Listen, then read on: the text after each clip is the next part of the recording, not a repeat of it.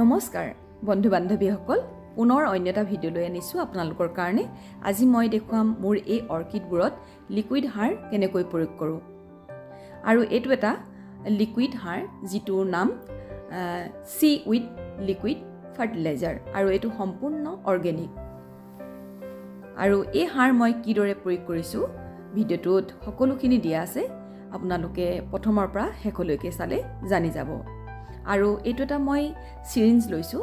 চিৰিঞ্জটো এইদৰে মই জুখিবৰ কাৰণে লৈছোঁ যেনেকৈ ওৱান টু থ্ৰীকৈ লিখা আছে তেনেকৈ one M L two M L তেনেকৈ লিখা আছে তাৰ জোখৰ মতেহে মই ফাৰ্টিলাইজাৰখিনি ব্যৱহাৰ কৰিম। আৰু জোখৰ মতে ব্যৱহাৰ কৰিলেহে ভাল হয়।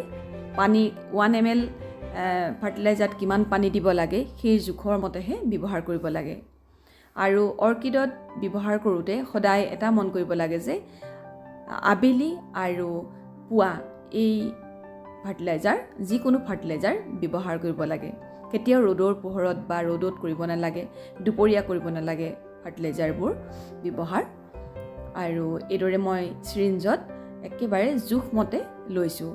কাৰণ ওৱান লিটাৰ পানীত ওৱান এম এল ফাৰ্টিলাইজাৰ তেনেকৈ যেনেকৈ জোখ দিব লাগে তেনেকৈ ল'লেহে ভাল হয়। বেছি হ'লে ক্ষতিসাধনো কৰিব পাৰে। হ'লেও অৰ্গেনিক হয় কিন্তু বেছি দিব দৰকাৰ নাই।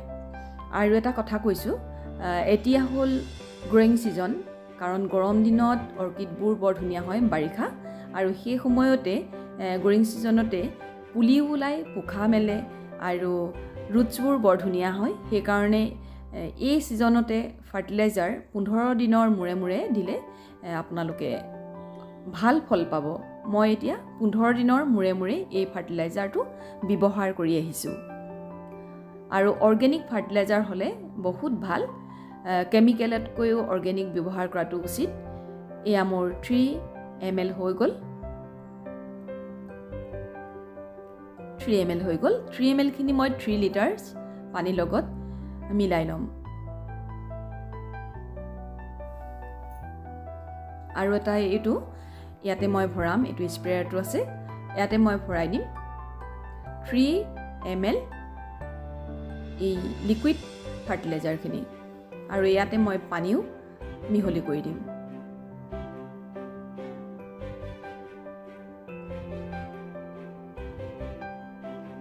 একেবাৰে থ্ৰী এম এল ইয়াত ভৰাই দিয়া হৈছিল। এয়া দেখিছে থ্ৰী এম এললৈকে দি দিলোঁ। আৰু ইয়াত থ্ৰী লিটাৰ্ছ পানী মিহলি কৰি ল'ব লাগিব। আৰু এই মিশ্ৰণখিনি যিখিনি ফাৰ্টিলাইজাৰ আপোনালোকে ইনড'ৰ আউটড'ৰ ইয়াত ইনড'ৰত থকা বা আউটড'ৰত থকা অৰ্কিডবোৰতো ব্যৱহাৰ কৰিব পাৰে। অৰ্কিডবোৰ যিখিনি ইনড'ৰত আছে তাতো কৰিব পাৰে। বাহিৰত থকাখিনিও কৰিব পাৰে। আৰু মোৰ পূৰা থ্ৰী লিটাৰ পানী ইয়াত দি দিলোঁ। এতিয়া মই স্প্ৰে কৰি যাম।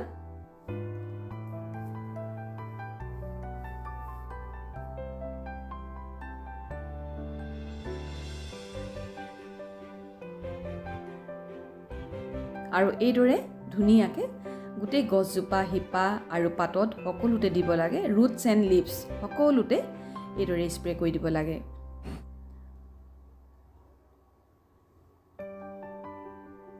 আৰু এয়া আউটড'ৰটো দিয়া হৈছে আউটড'ৰ অৰ্কিডত। আৰু চাই যদি ভাল লাগিলে ছাবস্ক্ৰাইব এটা কৰি ৰাখিব।